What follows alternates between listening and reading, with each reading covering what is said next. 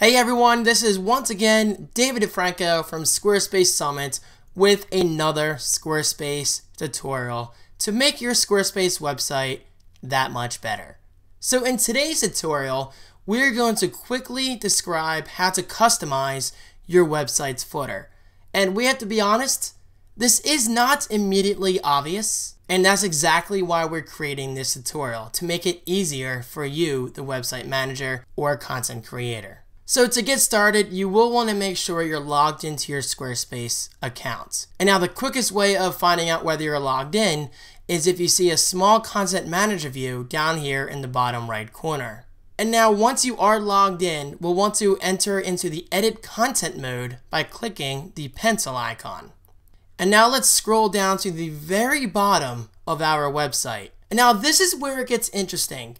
It's not obvious right away, but once you do it the first time, you'll have no problem doing it a second time, a third time, and so on. And that is to simply hover over your footer.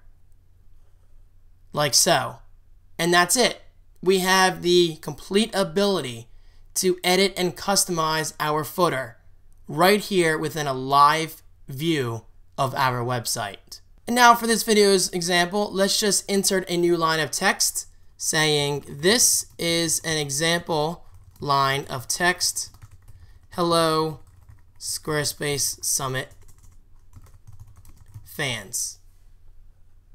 And click save.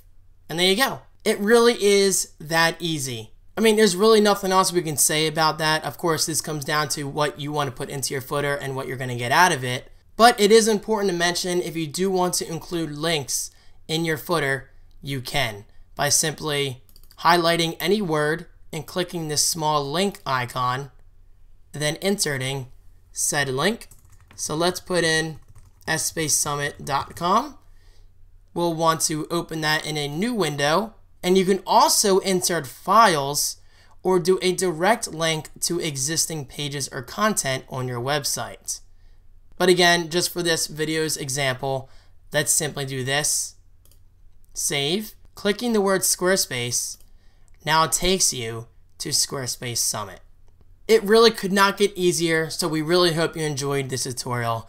As always, thank you so much for watching, and if you have any tutorial requests, please do not hesitate to comment below. So until next time, stay tuned for plenty more Squarespace tutorials.